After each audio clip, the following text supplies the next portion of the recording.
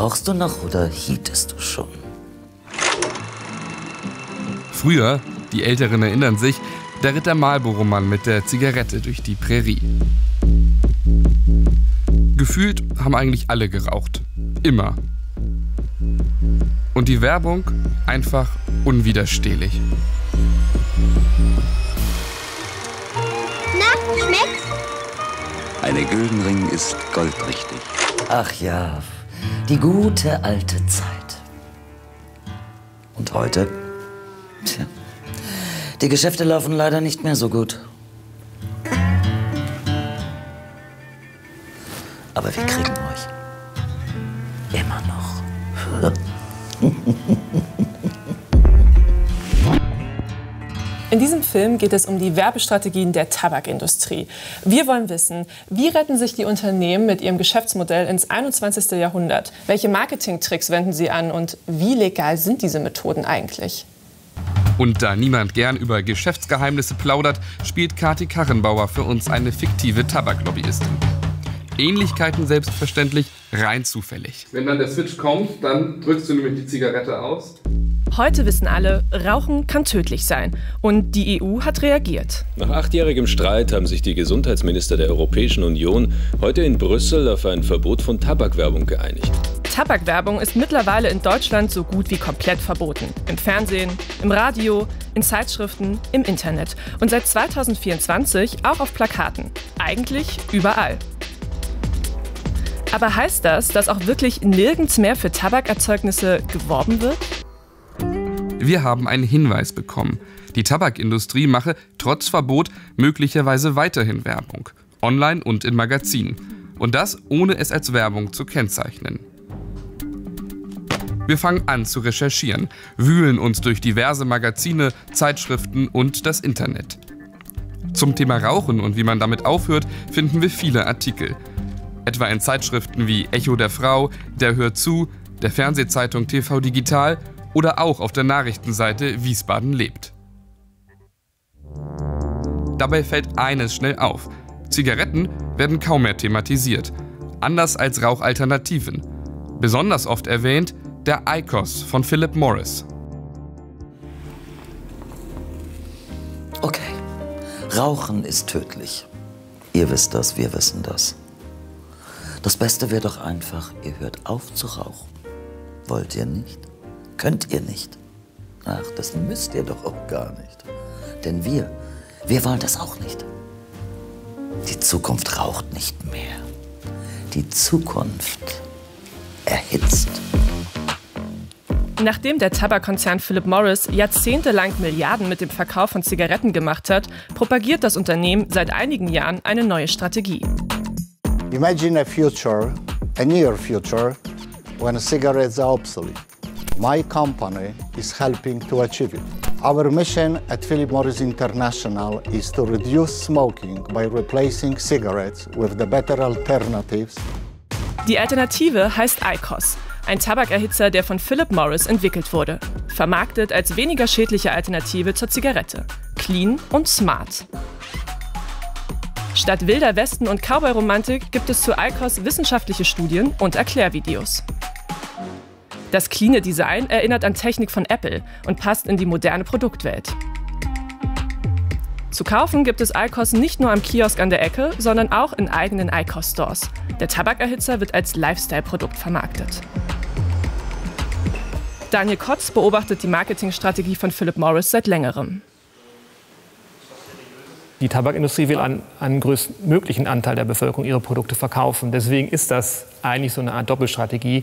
Einerseits zu sagen, ähm, wir wollen den Raucherinnen helfen, aber andererseits diese Produkte an alle zu verkaufen. Allein die Strategie äh, zu sagen, ähm, äh, wir wollen äh, dem Tabakrauchen ein Ende setzen, durch diese Produkte ist natürlich nicht sehr glaubwürdig, wenn man gleichzeitig weltweit äh, mehr Tabakprodukte verkauft als je zuvor und damit mehr Geld verdient als je zuvor. Das Hauptversprechen dabei, ICOS ist die rauchfreie Alternative zur Zigarette. Philip Morris wirbt damit, dass ICOS wesentlich weniger Schadstoffe enthält. Ein starker Werbeslogan, der Vertrauen schaffen soll. Studien wie diese, die die Schadstoffbelastung von ICOS untersuchen, stammen vor allem von Philip Morris selbst oder werden von dem Unternehmen finanziert. Also zunächst einmal können diese Studien durchaus äh, gut durchgeführt sein, aber trotzdem darf man nicht vergessen, dass äh, Philip Morris äh, ein großes Interesse hat an den Ergebnissen dieser Studie. Und da gibt es also, das nennt man auf Neudeutsch einen Conflict of Interest, einen Interessenskonflikt.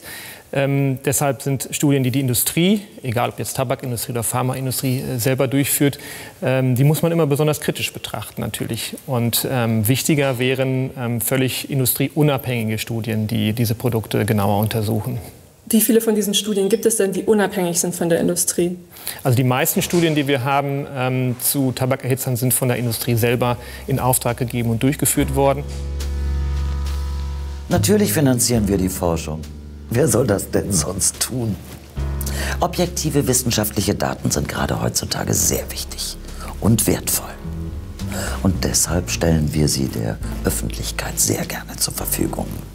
Seit 2021 fährt Philip Morris eine breite Informationskampagne in Zeitungsartikeln, online, aber auch auf einer eigenen Webseite, was Raucher sollten.de. Dabei auffällig, Erst ganz, ganz unten wird klar, dass es sich hier um eine Informationskampagne von Philip Morris handelt. Das wird gar nicht auf den ersten Blick so richtig deutlich. Was bezweckt das Unternehmen mit dieser scheinbar neutralen Aufklärungskampagne? Die Industrie stellt die Produkte natürlich auf eine Art und Weise dar, die für die Industrie selber besonders günstig sind und nicht unbedingt für den Verbraucher, für den sie nämlich äh, sehr schädlich sind. Diese Webseiten, die sind immer unglaublich gut gestaltet. Die sehen alle toll aus und äh, die findet man auch sehr schnell. Also wenn man Suchbegriffe eingibt im Internet, äh, landet man vorzugsweise auf bestimmten Webseiten und da steckt ganz viel Geld dahinter, um das so organisiert zu bekommen. Und medizinische Fachverbände oder so, die haben dieses Geld nicht, um äh, solche Webseiten aufzustellen.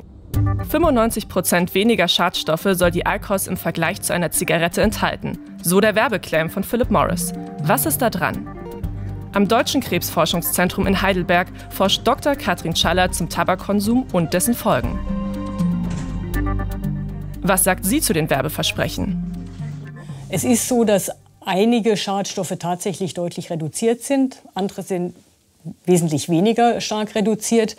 Und es gibt Substanzen im Aerosol von Tabakerhitzern, die gibt es in Tabakrauch überhaupt nicht. Also es gibt auch neue Substanzen, von denen man noch gar nicht weiß, was die im Körper anrichten. Mhm. Und diese Erklärung 95 Prozent weniger Schadstoffe soll natürlich auch suggerieren, dass es 95 Prozent weniger schädlich sei. Und diesen Schluss kann man nicht ziehen. Ein neues Produkt wird als gesundere Alternative zum Vorgänger vermarktet. Neu ist das nicht. Schon in den 50ern reagierten die Tabakkonzerne auf das steigende Bewusstsein für die Gesundheitsgefahren beim Rauchen mit Light- und Filterzigaretten. You get a clean, satisfying smoke. All filter findings confirmed by the United States Testing Company. Heute weiß man, Zigarettenfilter haben kaum einen Einfluss auf die gesundheitsschädlichen Folgen des Rauchens. Es ist doch immer so bei guter Werbung. Etwas Wahres ist schon dran. Aber ist eine halb schlechte Option nicht immer noch besser als eine ganz schlechte? Oh, ihr seid immer noch skeptisch. Tja, das wäre ich auch, wenn ich euch das erzählen würde. Aber was würdet ihr sagen, wenn euch dies jemand Unabhängiges erzählt, ein Journalist oder noch besser, ein Mensch wie ihr? Dem ihr vertraut. Zurück zu unseren Zeitschriften und Magazinen. Die Erzählung von Eikos als bessere Alternative zur Zigarette finden wir auch in unseren Texten wieder. Und hier auch Tabaksticks. Mhm. Dort stoßen wir auf Formulierungen wie smarte Alternativen für Raucher, ganz ohne lästigen Zigarettenrauchgeruch oder auch schadstoffärmere Alternativen. Das kommt uns ziemlich bekannt vor, erinnert dieses Wording doch stark an die Werbeargumente der ICOS-Website.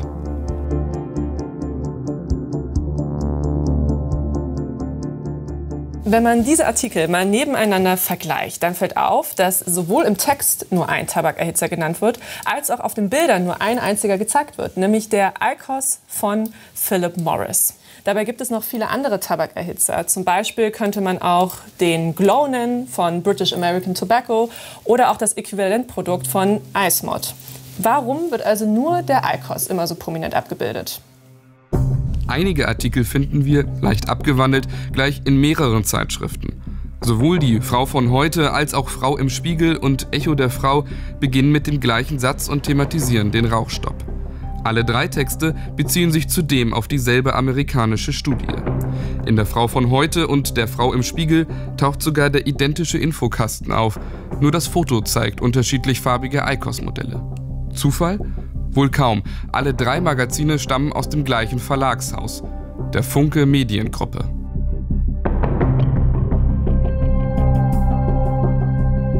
Andere Texte sind komplett identisch, wie dieser Artikel, der 2021 das erste Mal in der Hör zu Wissen erscheint. Im Fokus steht das Forschungszentrum von Philip Morris, das Cube. Im Juni des darauffolgenden Jahres erscheint derselbe Artikel in der Mutterzeitschrift, der Hör zu. Nur der Infokasten an der rechten Seite hat sich verändert. Einen Monat später ist der Text in der TV Digital zu lesen, mit neuer Überschrift und einem anderen Untertitel. Und wieder taucht der Artikel in der Hör zu Wissen auf. Diesmal in der August-September-Ausgabe. Gleicher Text, gleicher Infokasten, nur die Fotos neu zugeschnitten. Keiner der genannten Texte ist als Werbung oder Advertorial gekennzeichnet. Wir gehen mit den Artikeln zu einem Medienanwalt. Wie bewertet er die Texte? In allen Artikeln gibt es ein Kriterium, was überschneidet, und zwar es wird immer nur ein Produkt genannt. Also ein Produkt wird in Zusammenhang mit einem redaktionellen Bericht über Tabakerhitzer erwähnt, nämlich das Produkt von ICOS. Und es wird ja positiv dargestellt. Und ähm, damit ist die Tendenz, dass dort Werbung gemacht werden soll, die ist schon relativ stark. Also um das juristisch zu sagen, der Verdacht drängt sich schon auf, dass da jemand versucht, Werbung zu betreiben, ohne sie kenntlich zu machen. Besonders auffällig für den Juristen die Formulierung, mit den ICOS in vielen Texten beschrieben wird. Das ist so, also ich meine ganz ehrlich, das kann ja kein Werbetexter besser formulieren. Das sieht cool aus, das ist ja sogar Jugendsprache noch. Äh, da verstärkt sich der Eindruck, dass das ähm, dass das eine, eine Werbung ist, die nicht gezeigt wird. Also der Verdacht ist, ist noch stärker als bei den anderen Sachen, weil ich hier Hochwertwörter und Premiumwörter wie echt cool benutze oder schickes Design und das dazu führen kann, dass, ähm, dass man dann unterm Strich äh, zu dem Ergebnis kommt, dass das Schleichwerbung ist. Also der Verdacht drängt sich wirklich auf. Wir wollten natürlich auch wissen, was Funke zu all dem zu sagen hat und haben einen ausführlichen Fragenkatalog an den Verlag geschickt. Als Antwort erhalten wir nur den kurzen Satz, Bitte haben Sie Verständnis dafür, dass wir uns nicht dazu äußern. Versteckte Werbung verstößt auch gegen den Pressekodex, der eine strikte Trennung von Werbung und redaktionellen Inhalten vorsieht. Letztes Jahr hat der Presserat in diesem Zusammenhang diesen Artikel aus der Zeitschrift Gong gerügt. Auch in dem Text geht es um ICOS und wir haben genau den gleichen Text so auch in der Hör zu gefunden. Und auch wie die Hör zu gehört auch der Gong zu Funke. Dazu wollte sich der Verlag uns gegenüber nicht äußern. Ich gebe zu, der Trick ist nicht neu, aber er funktioniert. Ratgeberartikeln und Tests vertraut ihr doch auch mehr als der Werbung. Werbung, die nicht als Werbung gelesen wird, ist viel erfolgreicher. Da wird euer erlernter Abwehrmechanismus einfach ausgeknipst. Das ist ja keine Raketenwissenschaft. Aber wäre das nicht ein Verstoß gegen das Tabakwerbeverbot? Auch das ist etwas kompliziert. Verboten ist laut Gesetz Werbung für Tabakerzeugnisse, also alles, was aus der Tabakpflanze hergestellt wird. Der ICOS besteht ja eigentlich aus zwei Teilen. Einmal dem Erhitzergerät selbst und den Tabaksticks, mit denen er befüllt wird. Ob jetzt Werbung für den ICOS, also den Erhitzer, verboten ist, dazu ist die Gesetzeslage nicht ganz eindeutig. Die Tabaksticks aber enthalten Tabak und sind damit eindeutig verboten. Und trotzdem werden sie in fast all unseren Texten erwähnt oder abgebildet. Nur einige wenige Texte, die wir in unseren Recherchen finden, sind tatsächlich als Werbung gekennzeichnet. Die Markierung dabei alles andere als einheitlich. Auf der Online-Präsenz der Boulevardzeitung Express etwa findet sich in einem Artikel zu ICOS ein Hinweis unter dem ersten Absatz. Auf dem Nachrichtenblog Wiesbaden lebt wird der Beitrag als Sponsored Article gekennzeichnet. Solche Werbung, die aussieht wie ein redaktioneller Text, wird Advertorial genannt. Wir haben beim Express und Wiesbaden lebt nachgefragt. Der Dumont Verlag verantwortlich für den Express schreibt uns, es handelt sich nicht um Werbung. Es ging der Redaktion vor allem darum, die Unterschiede zwischen Zigaretten, E-Zigaretten und Tabakerhitzern darzustellen. Man nehme unsere Berichterstattung zum Anlass, den Artikel offline zu stellen und Produktverlinkungen künftig zu vermeiden. Wiesbaden lebt möchte sich nicht äußern. Über die Vorwürfe wollen wir auch mit dem ICOS-Hersteller Philip Morris sprechen. Die Pressestelle, die lehnt unsere Interviewanfrage ab, beantwortet unsere Fragen allerdings schriftlich per E-Mail. Und darin steht unter anderem, von der Philip Morris GmbH finanzierte Werbeanzeigen in deutschen Tabakfachzeitschriften zur ICOS sind als solche gekennzeichnet. Der ICOS sei darüber hinaus nicht über bezahlte Artikel oder Editorials in deutschen Print- und Online-Publikationen beworben worden. Das Unternehmen weist jeden Verdacht der verbotenen Tabak Tabakwerbung zurück. Okay, bleibt am Ende noch die Frage, wer kontrolliert eigentlich, ob das Tabakwerbeverbot eingehalten wird? Wir wollten dazu mit den zuständigen Behörden sprechen. Doch das war schwieriger als gedacht. Die Verbraucherzentrale Hamburg schreibt uns, sie können uns leider nicht weiterhelfen. Auch der Bundesverband der Verbraucherzentralen schreibt, man habe leider keinen Experten zu diesem Thema. Die Behörde für Verbraucherschutz und Justiz in Hamburg kann uns kein Interview anbieten, verweist uns aber an die Bundesbehörden. Das Bundesamt für Verbraucherschutz schickt uns zum Bundesministerium für Ernährung und Landwirtschaft. Und das wiederum teilt uns mit, für die Einhaltung der Verbote seien die Marktüberwachungsbehörden der Bundesländer zuständig. Und das Landesamt für Verbraucherschutz und Lebensmittelsicherheit verweist uns für weitere Informationen wieder an das Bundesministerium für Ernährung und Landwirtschaft. Ich weiß ja nicht, was ihr denkt, aber ich frage mich, kann es sein, dass sich niemand dieser Sache so richtig annimmt und die Industrie einfach die Lücken nutzt, die ihnen die Behörden lassen? Ein smartes Produktdesign, wissenschaftliche Forschung und Informationskampagnen im Netz.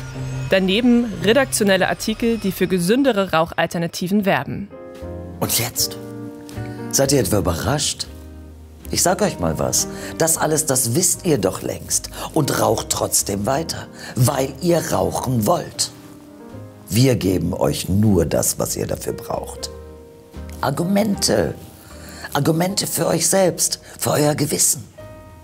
Wir halten euch nicht davon ab zu rauchen.